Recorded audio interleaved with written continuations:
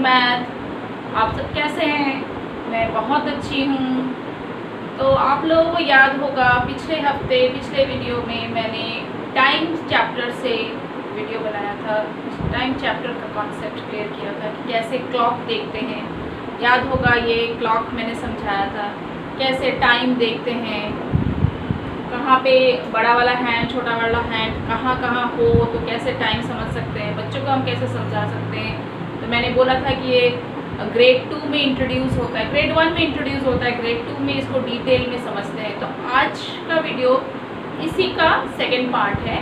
तो पिछले हफ़्ते, पिछले वीडियो में मैंने बताया था कि क्लॉक कैसे देखते हैं और कुछ कॉन्सेप्ट्स बताए थे वाटर पास्ट और वाटर टू तो इस वाले वीडियो में मैं उसी का सेकेंड पार्ट आप लोगों को बताऊँगी। जैसे क्वार्टर पास क्वार्टर टू होता है, वैसे ही half past half thirty minutes होता है तो हाफ़ पास होता है या अगर फिफ्टीन मिनट्स हो गया है तो जैसे अभी नाइन फिफ्टीन हो रहा है तो हम ये भी कह सकते हैं फिफ्टीन पास्ट नाइन या ऐसे करेंगे तो थर्टी पास्ट नाइन या हाफ़ पास्ट नाइन तो ये चीज़ें भी होती हैं जब हम बच्चों को समझाते हैं कि क्लॉक कैसे देखना है। तो ये जो कुछ टर्म्स हैं, जो क्वेश्चंस में भी पूछे जाते हैं एग्ज़ाम्स के एग्ज़ाम पेपर में क्वेश्चन पेपर में ये क्वेश्चंस होते हैं। हाफ़ पास नाइन बताओ क्या होता है? तो हाफ़ पास नाइन होगा nine nine hours and thirty minutes ऐसे हम समझ सकते हैं या बच्चों को समझा सकते हैं कि क्लॉक कैसे देखना है। तो क्लॉक देखना बहुत आसान है बट जब वो क्वेश्चंस में जब पूछा जाता है तो बच्चे कंफ्यूज हो जाते हैं। तो ये कंफ्यूजन ना हो, बच्चे जो टर्मिनोलॉजीज़ है इंग्लिश में जो टर्मिनोलॉजीज यूज़ होता है फॉर क्लॉक फॉर टाइम वो आज हम देखेंगे। तो आज मैं कुछ क्वेश्चंस आप लोगों के साथ डिस्कस करूँगी। जो नॉर्मली एग्ज़ाम्स में आते हैं। तो क्लॉक जैसे हम समझा देते हैं बच्चों को बट जब वही चीज़ क्वेश्चंस में पूछे जाते हैं तो बच्चे कंफ्यूज हो जाते हैं। तो चलिए आज कुछ क्वेश्चंस मैंने प्रिपेयर किया है, जो क्वेश्चंस एग्ज़ाम्स में आते हैं। तो आप लोग देखिए ये वीडियो और क्वेश्चंस को भी देखिए, कैसे मैं सॉल्व करती हूँ, और ताकि बच्चों को हेल्प मिले। वो समझ सके कि कुछ टर्मिनोलॉजीज़ जो होते हैं, वो कैसे समझना है और उनके बेसिस पे कैसे आंसर्स देते हैं। तो चलिए और ज़्यादा टाइम वेस्ट नहीं करूँगी। मैं आप लोगों को क्वेश्चंस दिखाती हूँ और उनको सॉल्व करके भी दिखाती हूँ। तो वीडियो को प्लीज़ एंड तक देखिए और अगर कोई क्वेरीज़ है, कोई क्वेश्चन है तो मुझे कमेंट्स में पूछिए, मुझे बताइए, मैं उनको आंसर्स करूँगी।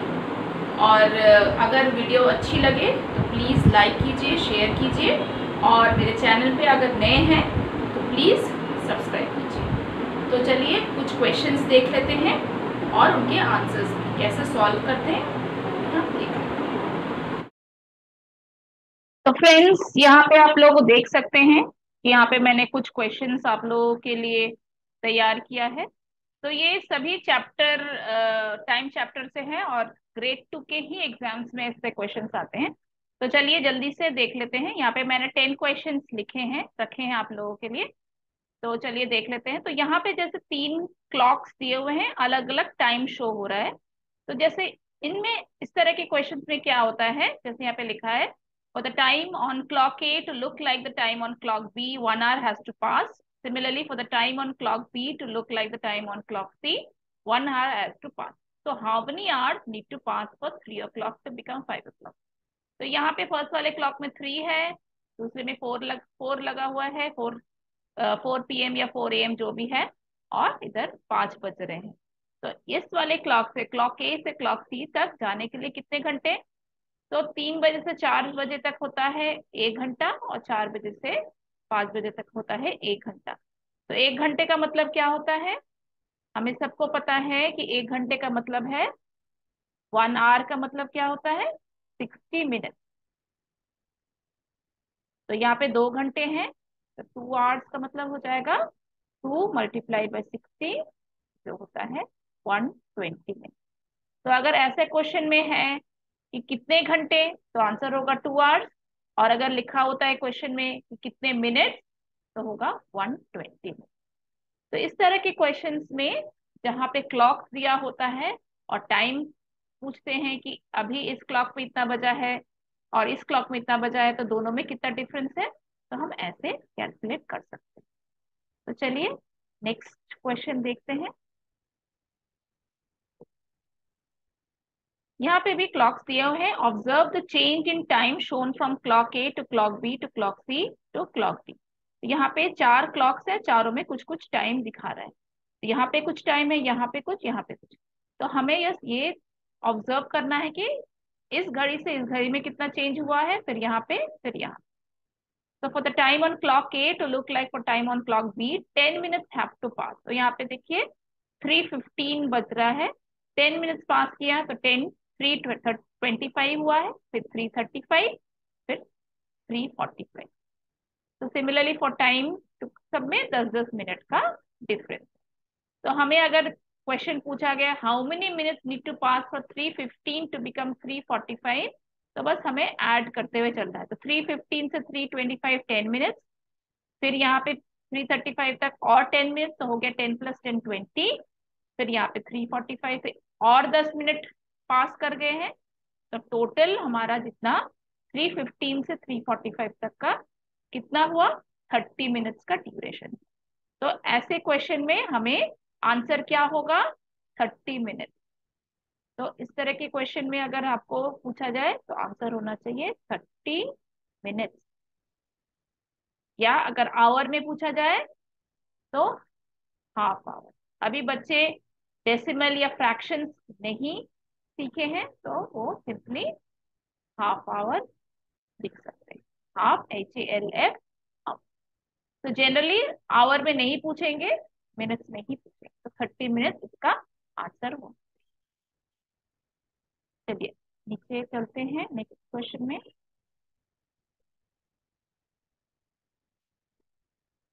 तो थर्ड क्वेश्चन है calculate the time that has pass इसमें भी जैसे घड़ी दिखाया हुआ है पहले वाले में क्या बच रहा है? एट फिफ्टीन क्योंकि बड़ा वाला हैंड थ्री पे है तो फिफ्टीन छोटा वाला हैंड एट पे है तो एट फिफ्टीन और दूसरे वाले क्लॉक में क्या दिखा रहा है? दोनों ही हैंड टेन पे है।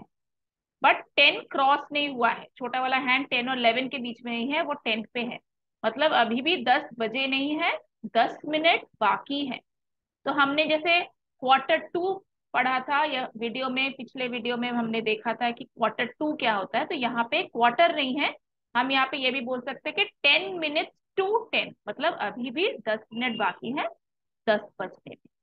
तो यहाँ पे बज रहे हैं एट फिफ्टीन और यहाँ पे बज रहा है नाइन फिफ्टी तो दोनों में कितना अंतर है, वो हमें बताना है। तो कैसे बताएँगे? तो यहाँ पे हम कैसे डिफरेंस निकालेंगे एट फिफ्टीन तो चलिए हम इसको कैलकुलेट करते हैं। तो एट फिफ्टीन का मतलब है आठ बज के पंद्रह मिनट।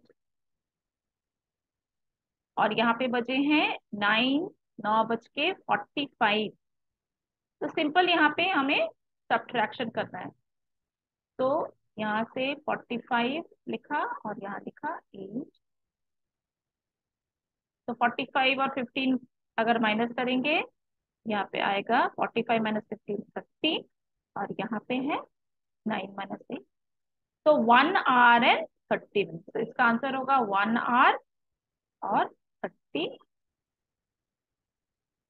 तो ऐसे क्वेश्चंस भी आ सकते हैं कि हमें सब्ट्रैक्शन या एडिशन करके दो टाइम में डिफरेंस या दो टाइम में कितना ऐड करने से अगला टाइम होगा या कितना सब्ट्रैक्ट करने से अगला टाइम दिखाएगा? दो घड़ी दे रखी है।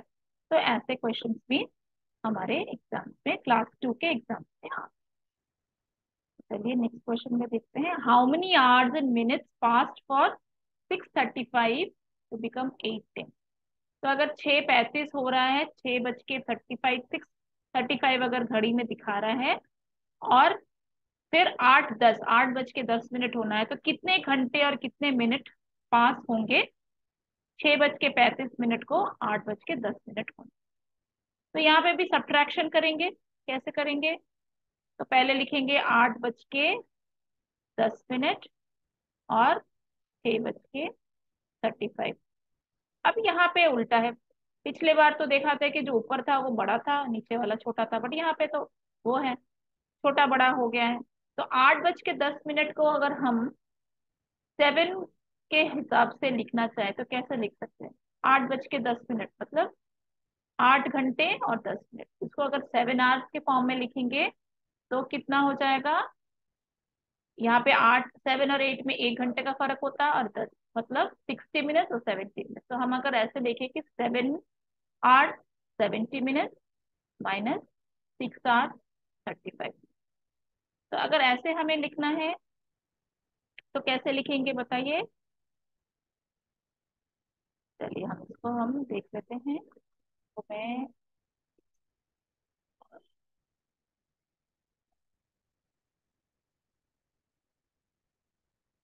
तो यहाँ पे लिखा, सेवेंटी माइनस थर्टी फाइव होता है थर्टी फाइव, यहाँ पे फाइव और ये थ्री और यहाँ पे एक घंटा तो हमारा आंसर होना चाहिए one hour and thirty five. बहुत आसान है। तो छह बज के पैंतीस मिनट को आठ बज के दस मिनट होने में कितना घंटा और कितना मिनट पास होगा? एक घंटा और पैंतीस मिनट पास। आसान था। नेक्स्ट में चले जाते हैं। अब लिखा है Alex wakes up at six in the morning choose the time when Alex wakes up तो यहाँ पे चार घड़ियाँ दी हुई है। लिखा है कि एलेक्स कितने बजे उठता है सुबह? छह बजे। तो इन घड़ियों में कौन से में छह बज रहा है? हमारा आंसर होना चाहिए कौन सा? चार घड़ियों में कौन सा आंसर होना चाहिए? देखिए, यहाँ पे कितना बज रहा है? फाइव तो ये आंसर नहीं है। यहाँ बज रहा है सेवन यहाँ बज रहा है सिक्स यहाँ बज रहा है आठ। तो हमारा आंसर होना चाहिए सिक्स हमारा answer six in the morning मतलब छोटा वाला काटा सिक्स पे, छोटा वाला हैंड सिक्स पे और बड़ा वाला हैंड ट्वेल्व पे।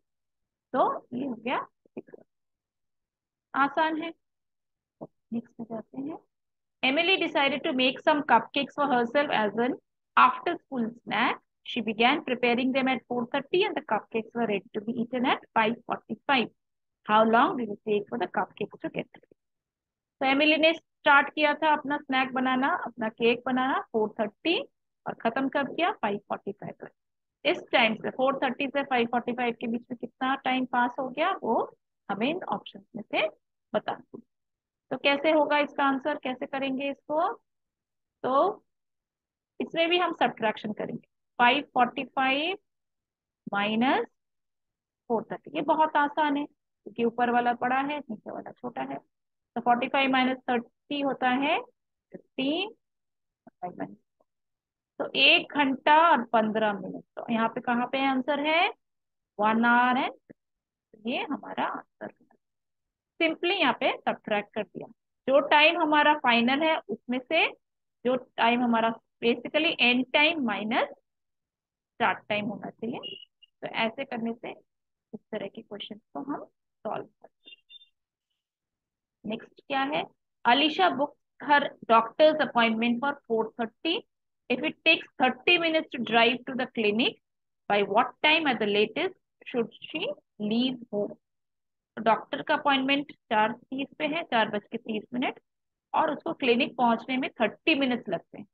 तो उसे घर से कब निकलना चाहिए ताकि वो चार बज के तीस मिनट में क्लिनिक पहुँच जाए?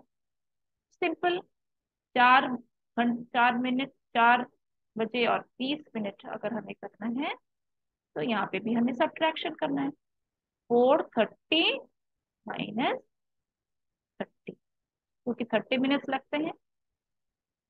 तो कुछ भी नहीं थर्टी और थर्टी कट गया। फोर तो फोर पीएम हो या फोर एम जो भी है तो उसे घर से चार बजे निकलना चाहिए तो यहाँ पे आंसर होगा। चार बजे वो घर से निकले, तभी वो साढ़े चार तक पहुँच सकती है, क्योंकि साढ़े चार बजे का डॉक्टर का अपॉइंटमेंट ठीक है, ये भी बहुत आसान था क्लियर हो गया। Next question When Nancy left her home for a morning walk, the clock looked like this. जब वो मॉर्निंग वॉक के लिए निकली नैन्सी तब घड़ी में ये दिखा रहा था। ये घड़ी में क्या दिखा रहा है? बड़ा वाला हैंड ट्वेल्व पे है छोटा वाला फाइव पे है मतलब पाँच बज रहे।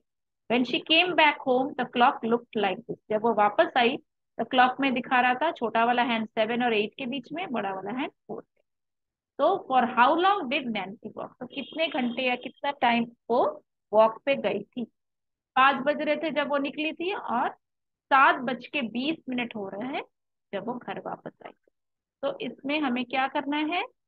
सेम वही सब्ट्रैक्शन करना है। सात बज के बीस मिनट माइनस पाँच।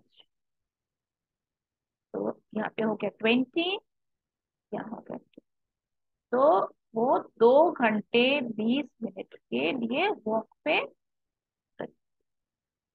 आसान है। तो पाँच बजे निकली थी, सात बीस पे वो घर वापस आई तो माइनस कर दिया, दो घंटे बीस मिनट के लिए वो वॉक पे गई। इजी है, ये भी बहुत आसान था। Next given below are the timings of a medical store in Delhi तो मेडिकल स्टोर के कुछ टाइमिंग्स होते हैं जो हर जगह होते हैं मेडिकल स्टोर हो या कहीं का भी स्टोर का भी हमारे पास कभी कभार हम पूछते हैं कि कब से कब दुकान खुली रहेगी तो वो टाइमिंग तो मंडे टू थर्सडे नौ से सात बजे तक, सुबह नौ से शाम के सात बजे तक फ्राइडे टू सैटरडे दस से नौ संडे को बारह से साढ़े क्वेश्चन है is the store open on all days store क्या हर दिन ओपन है? तो मंडे टू थर्सडे ये टाइम है फ्राइडे टू सैटरडे ये टाइम है संडे तो सातों दिन यहाँ पे दिख रहा है टाइमिंग दिए हुए हैं। तो इस क्वेश्चन का क्या आंसर होना चाहिए कि वो सातों दिन मतलब ऑल डेज़ ही स्टोर ओपन है। टाइमिंग्स अलग अलग है, लेकिन खुली रहती है हर दिन। अब आपको टाइम के हिसाब से स्टोर को विज़िट करना है। तो बहुत ही आसान है। बस इनको फॉलो करना है कि यहाँ पे क्या क्या दिन लिखे हुए हैं और क्या क्या टाइम नेक्स्ट क्वेश्चन है Jack and Julie worked on a project from three in the afternoon to nine fifteen in the night how long did they work on the project तीन बजे से आफ्टरनून में स्टार्ट किया project पे। और नौ बज के पंद्रह मिनट रात में वो प्रोजेक्ट खत्म हुआ। तो कितना टाइम लगा उस प्रोजेक्ट को कंप्लीट होने में? यहाँ पे भी हम वही करेंगे सब्ट्रैक्शन है, नौ बज के पंद्रह मिनट से तीन बजे माइनस कर देंगे। तो पंद्रह यहाँ पे छ यहाँ पे। तो सिक्स आवर्स और फिफ्टीन मिनट तो हमारा ऑप्शन होगा छ घंटे और पंद्रह। है ना? बहुत आसान है। तो क्लास टू में ऐसे ही क्वेश्चंस आते हैं। तो ये तो कुछ सैंपल था। ऐसे ही क्वेश्चन बच्चों के एग्ज़ाम्स में आते हैं। तो ये एक बहुत ही आसान था और मुझे उम्मीद है आप लोगों को पसंद आया। तो उम्मीद है आप लोगों ने क्वेश्चंस देखा और उसका सोल्यूशन भी देखा। तो मैंने कोशिश की है हर तरह की क्वेश्चंस को यहाँ पे लेके सॉल्व करना। तो आप लोग कोई भी और क्वेश्चंस हो जो आप लोग चाहते हो मैं आंसर करूँ या उसका सोल्यूशन आपको नहीं समझ में आ रहा है तो प्लीज़ कमेंट्स में मुझे बताइए। I be very happy to help मुझे बहुत अच्छा लगेगा आप लोगों को आंसर देने में। और और भी कुछ अगर आप जानना चाहते हैं इस वीडियो रिलेटेड या टाइम रिलेटेड तो मुझे क्वेश्चंस कमेंट्स में लिखिए और मैं आपको आंसर करूँ। तो आई होप आप लोगों को ये वीडियो अच्छी लगी हो। वीडियो अच्छी लगे तो लाइक एंड शेयर और मेरे चैनल को प्लीज़ सब्सक्राइब कीजिए। थैंक यू सो मच आपने पूरा वीडियो देखा आ, मुझे सुना और ये इनक्रेजमेंट ये सपोर्ट मुझे बहुत ज़्यादा चाहिए आप लोगों से। तो प्लीज़ मुझे इनक्रेज कीजिए मेरे चैनल को सब्सक्राइब कीजिए। थैंक यू टेक केयर आप सब अच्छे रहें आप स्वस्थ रहें। Bye bye